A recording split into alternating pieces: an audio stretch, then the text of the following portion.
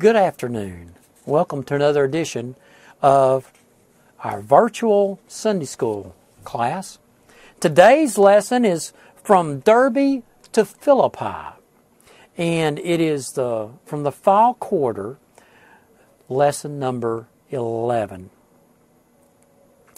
And reading the scriptures, we have two sections of scriptures. Uh, the first one, Acts 16, 1 through 4, and it reads as follows Then came he to Derbe and Lystra, and behold, a certain disciple was there, named Timotheus, the son of a certain woman, which was a Jewish and believed. But his father was a Greek, which was well reported of by the brethren that were at Lystra and Iconium. Him would Paul have to go forth with him, and took and circumcised him because of the Jews which were in those quarters, for they knew all that his father was a Greek. And as they went through the cities, they delivered from the decrees for to keep, that were ordained of the apostles and elders that were at Jerusalem.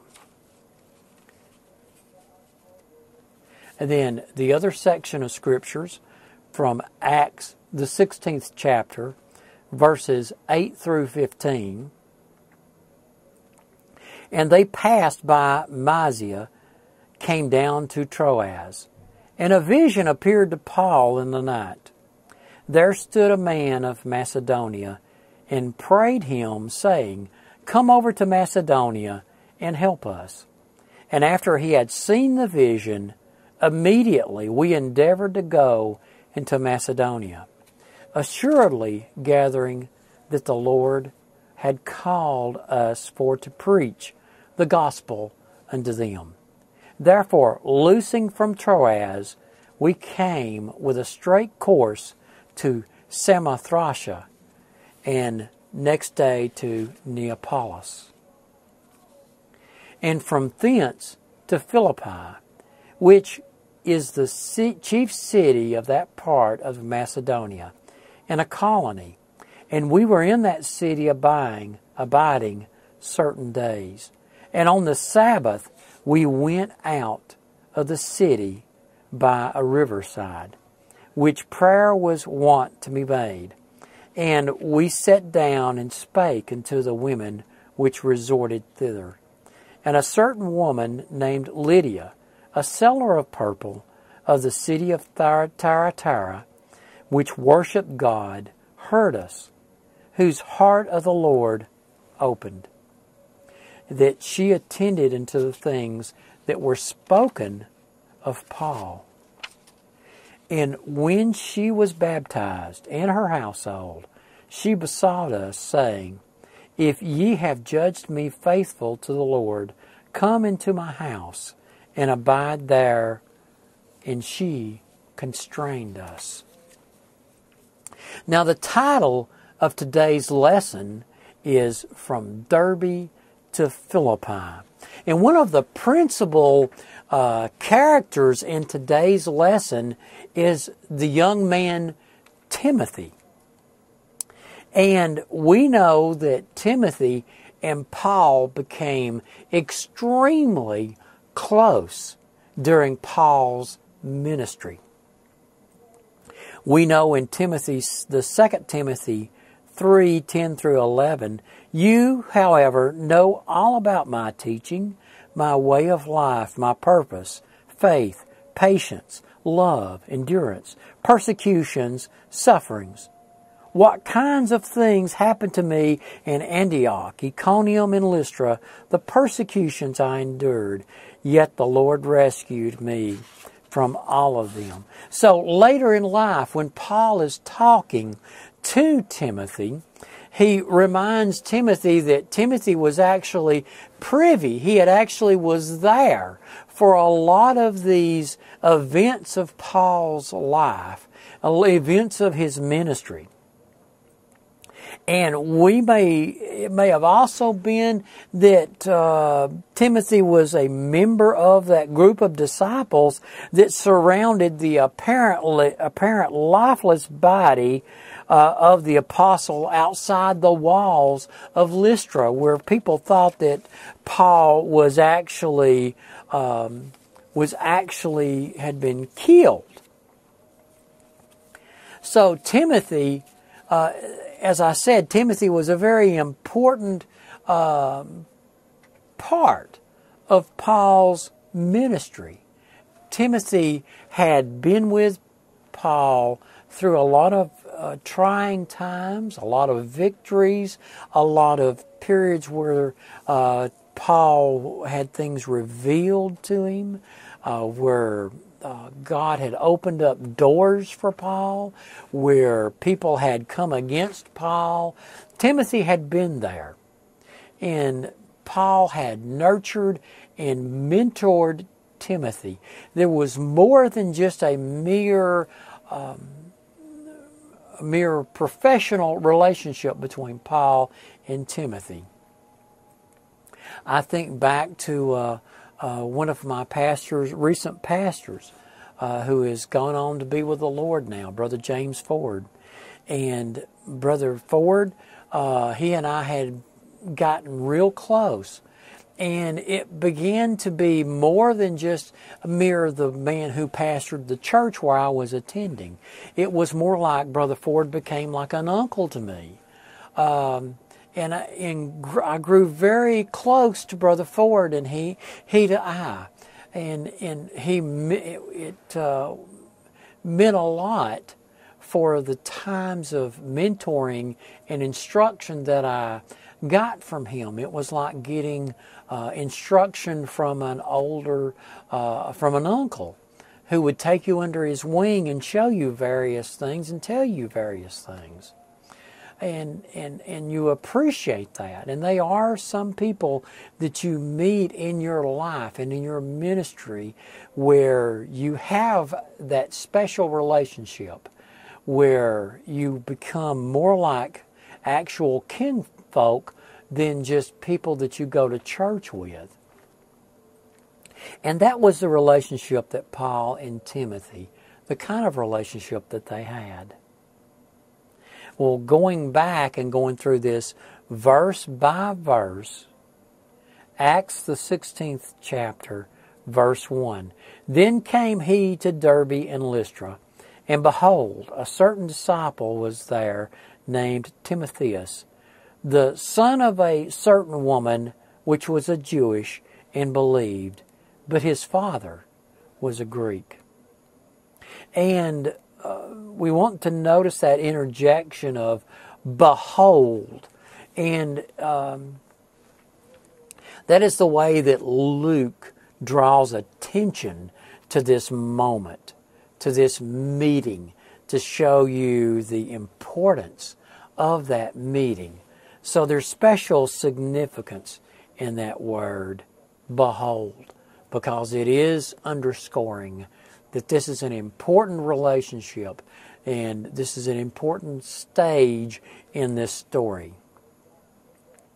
And also, too, want to discuss a little bit about uh, that phrase, but his father was a Greek. And that underscores the fact that Timothy's father was a, an uncircumcised Greek. And apparently he had remained an uncircumcised Greek. And that's the reason why, why Timothy had not been circumcised. We can infer from this that Timothy's father, even though he was married to a Jewish woman, Timothy's father was not a proselyte. He had not tried to be converted to Judaism. That, that he was um, merely just a Gentile Greek. He married this Jewish woman and he had not taken on her faith, he still was a Greek.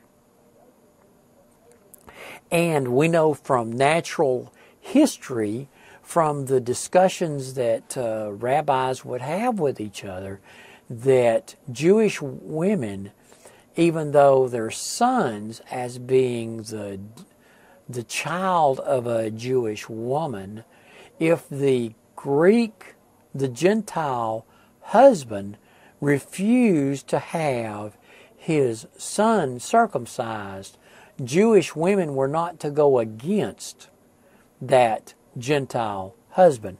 And being an obedient, in the culture, being an obedient wife of the day, uh, Timothy's mother did not go against his Gentile father and have him circumcised. So, Timothy, that is the reason why Timothy, at this late stage in his life, although his mother was a Jewish woman, Timothy had not been circumcised. Okay, and then going down to the second verse, which was well reported of by the brethren that were in Lystra and Iconium. Now, we want to point out there's two ways that verse can be interpreted uh, and and tell you how I think it should be interpreted. There's two ways that can be interpreted where it says, But his father was a Greek, and then the second verse it says, Which was well reported of by the brethren that were at Lystra and Iconium. Now you can inf- you can interpret that that Timothy's father was a Greek, but he was well thought of, well considered among the brethren that were at Lystra and Iconium. That would be one way you could interpret that. That is not the way that I interpret that. I think that that verse is actually, especially taken into consideration uh, that uh, there's no mention of of Timothy's father being a Christian, just that he is a pagan Greek. Um, the way I interpret that is is that that which was well reported of by the brethren to be referring back to Timothy and not his father.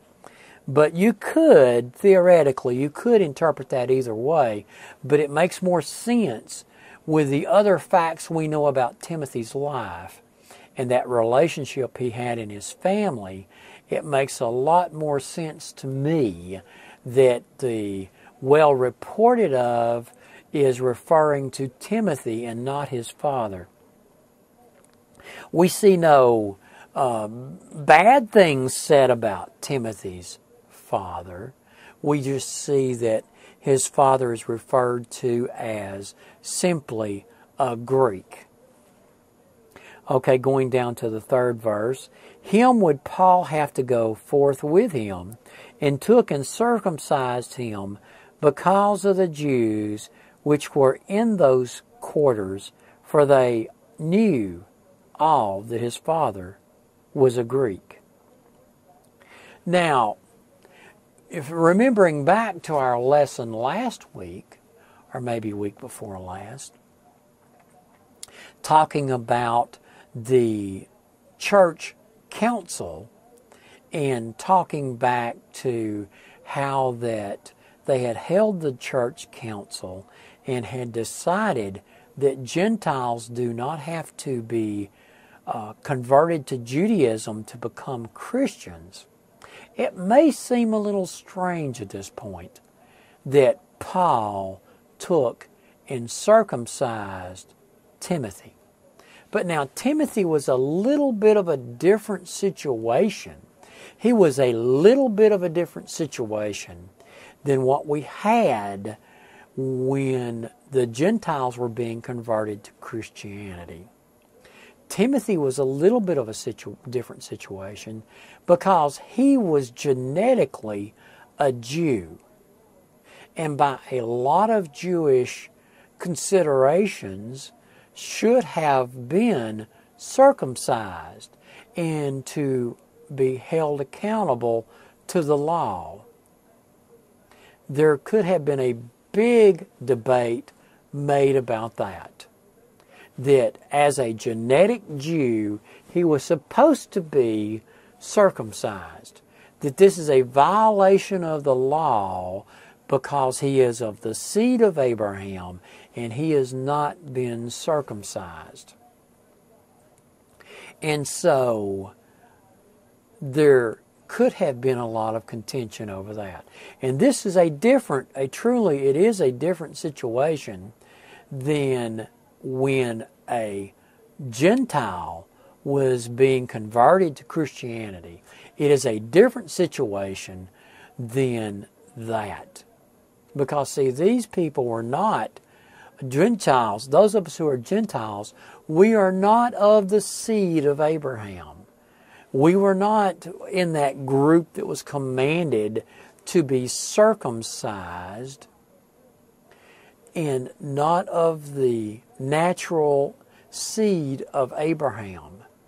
So we can be circumcised or not be circumcised and not be in violation of that direct command of God to be circumcised as being the seed of Abraham. And if you remember back to the story of Moses, Moses was actually forced to circumcise his sons. He had let it go on too long, and he was forced to circumcise his circumcise his son. The great lawgiver Moses uh, had let that slide, and he was forced to circumcise his sons. So, uh, a strong argument could have been made against Timothy being uncircumcised. So, to keep that down, Paul went ahead and circumcised Timothy. And I'm sure that was a uncomfortable situation for Timothy, and we don't want to interject or make too much conjecture, but uh, from grown men are circumcised, our young boys are circumcised uh, past the stage of a baby, uh, it is an extremely uncomfortable situation. And uh, it was no small thing for Timothy to submit to this and be circumcised. But we see that, that Timothy did. Okay, going down to the fourth verse, and as they went through the cities, they delivered them to the decrees, they delivered them the decrees for to keep that were ordained of the apostles and elders which were at Jerusalem. So we see that this group, uh, as they went through from town to town, they brought these orders that were decided on uh, in Jerusalem by the apostles and the elders. And this word in Greek is ta dogmas and uh, dogmata. And we have, um, uh, it's the same word that we get our word dogmatic. And we tend to now uh, use dogma in the sense of our creeds and what we believe in our statements of faith and that kind of thing. But back in the day, in the original language, in the original Greek, ta dogmata is used four times in the New Testament. It is Luke 2 and 1, where it talks about a decree from Caesar Augustus. Acts 17 and 7, the decrees of Caesar. And again in Ephesians 2.15 and Colossians 2.14. Now, generally speaking, though that ta dogmata, generally speaking, that was used for a law or an edict from a king or a legislative body. It was actually a rule. More than the way we use the, word dogma now to mean like a statement of faith. This is more. This was more used for. Um, it was used more for a rule.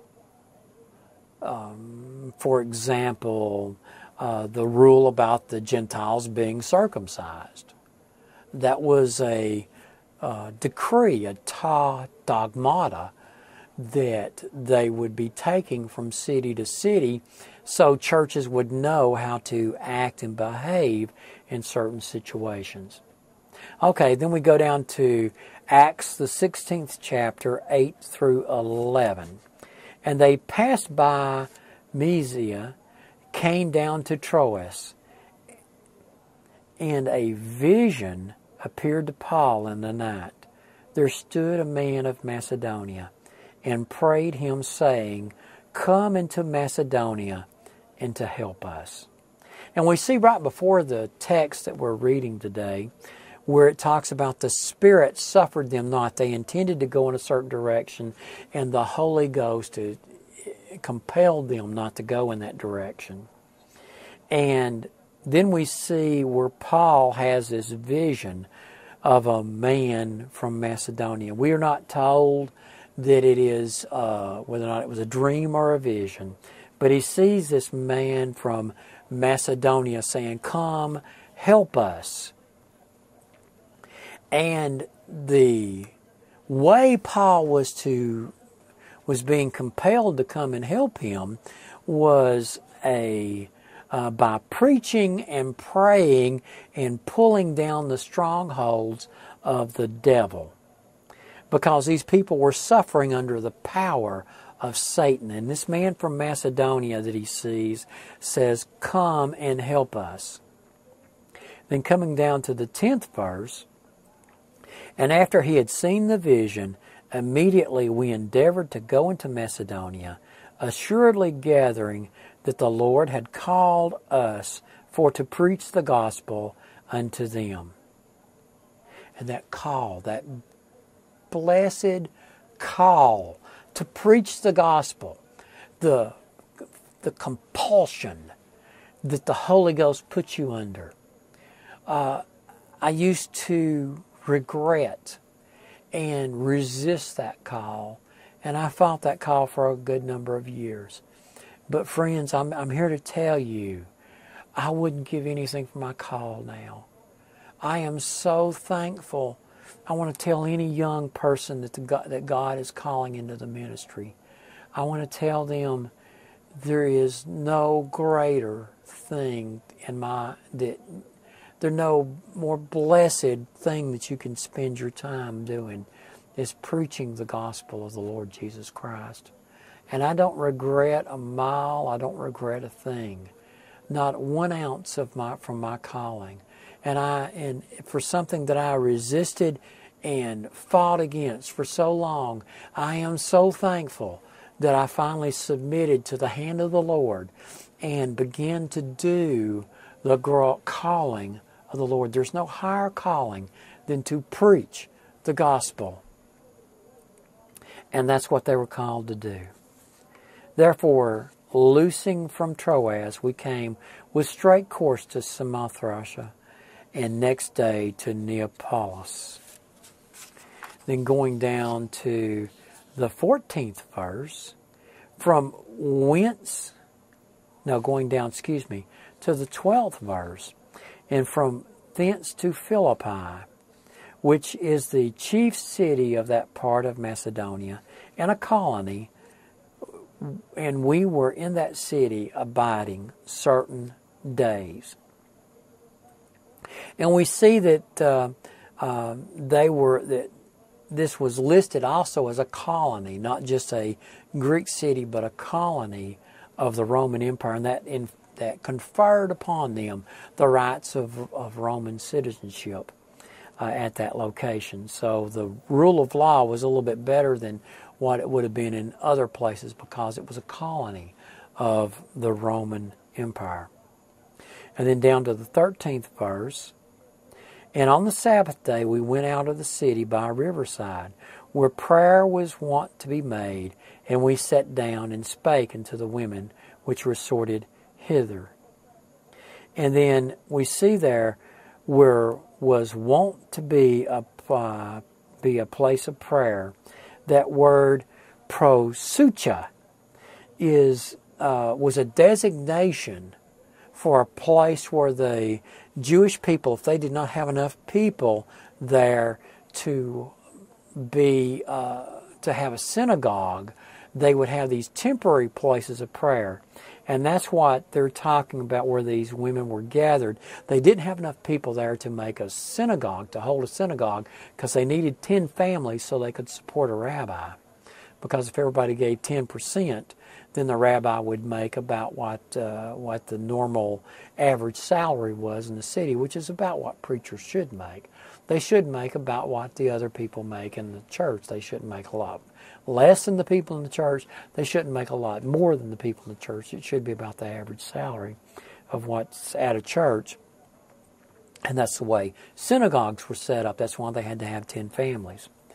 Um, but there wasn't enough people there to hold a synagogue, so they had this temporary uh, place of prayer in the original language called a proseuche, which was just like I said, a temporary place where they would have prayer. Then down to the 14th verse, and a certain woman named Lydia, a seller of purple of the city of Thyatira, which worshipped God, heard us, whose heart the Lord opened, and she attended unto the things which was spoken of Paul. And we see that uh, um, that Lydia uh, was a worshiper of God. She had been, um, there's no guarantee that she was Jewish, but she was a believer in God and had worshiped and had a lot of respect for Jewish people. And she had uh, attended these Jewish services. So we see that. And we also see that Lydia was a wealthy woman because this uh, purple, people who dealt in purple in that day, that's why purple was considered the royal color, because it was so astronomically expensive. And Lydia had been one of those people who dealt in the color purple. So she was very wealthy. Then down to the 15th verse, when and when she was baptized and her household, she besought us, saying, If you have judged me to be faithful to the Lord, come to my house and abide there. And she constrained us. Now, I want to point out something, and she was baptized and her household. Now, people have used that verse to justify infant baptism. And there's nothing in that verse that says that the members of Lydia's household who were baptized were babies. They could have very well have all been of the age of accountability where they could have accepted the Lord themselves and they also got saved and they were baptized. So it's a real strain to try to use that verse to justify, to justify infant baptism. And, uh, and I believe everybody should be of the age of accountability and know enough to accept the Lord Jesus Christ for themselves before they are baptized and and brought into the church. That should be a uh, an act of their self. I mean, we stand on our own, and we fall by our own. If we sin, uh, it's our sin, and we can't go on our on our on our parents' righteousness. Uh, we can't. We're not judged by our parents' sin. It's every uh, every generation stands on its own two feet. Appreciate you listening in, and neighbor, you turn in next week for our virtual Sunday school class.